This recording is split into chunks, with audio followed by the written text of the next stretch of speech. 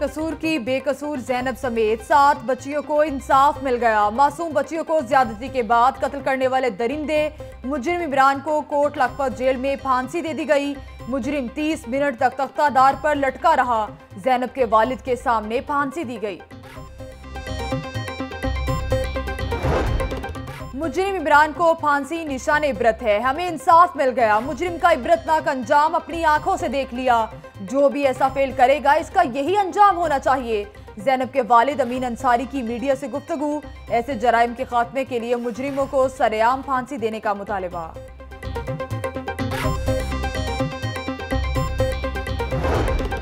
مجرم کے اہل خانہ ایمبولنس میں لاش لے کر روانہ سیکیورٹی وجوہات کے باعث مجرم عمران کو قصور میں نہیں دفنایا جائے گا۔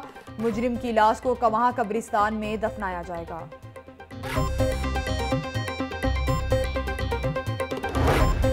قومی اسمبلی کے اجلاس میں شرکت، پولیس شہباز شریف کو لے کر نیب آفس سے روانہ۔ شہباز شریف کو پی آئی اے کی پرواز سے لاہور سے اسلام آباد لے جایا جائے گا۔ اجلاس کا وقت ختم ہونے کے بعد شہباز شریف نیب کی تحویل میں رہیں گے۔ سانحہ ماڈل ٹاؤن میں ملوث ایک سو سنتالیس پولیس اہلکاروں کو عہدے سے ہٹا دیا گیا۔ ذرائع کے مطابق D S P, inspectors, incharge, investigation سمیت تمام اہلکاروں کو لائن رپورٹ کرنے کا حکم دے دیا گیا۔ سانحہ میں ملوث چار ایس پیز کو پہلے ہی فیلڈ پوسٹنگ سے ہٹا دیا گیا تھا۔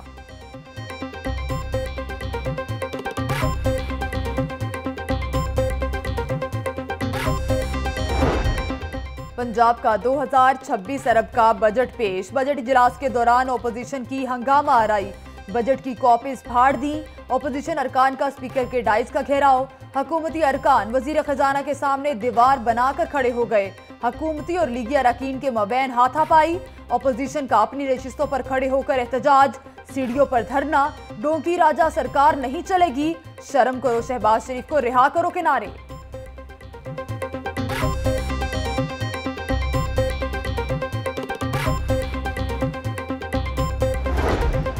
پنجاب اسمبلی میں اپوزیشن اراکین کی ہنگامہ آرائی کا معاملہ، چھ اراکین کو شوکس نوٹس جاری۔ اسمبلی داخلے پر پابندی عائد، نوٹس میں اشرف رسول، ملک وحید، یاسین عامر، زیب النساء اور طارق مسیح گل کے نام شامل۔ نون لیگ کا اسپیکر پر جانبداری کا الزام لاہ عمل کے لیے مشاورت شروع کر دی۔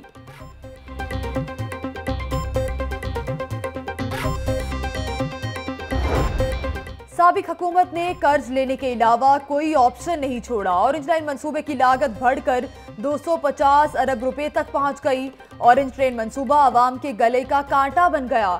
قرض لینے کا فیصلہ انتہائی مجبوری میں کیا۔ عوامی بہبود پر پیسے خرچ کیے جائیں گے۔ نوجوانوں کو روزگار کی فراہمی کے لیے پالیسی بنائی جا رہی ہے۔ وزیر خزانہ کی بجٹ میں تقریر۔ سوئٹزرلینڈ کے سفارتی وفد کا پنجاب بورڈ آف انویسٹمنٹ کا دورہ سی ای او بورڈ سے ملاقات۔ بامی دلچسپی کے امور پر تبادلہ خیال۔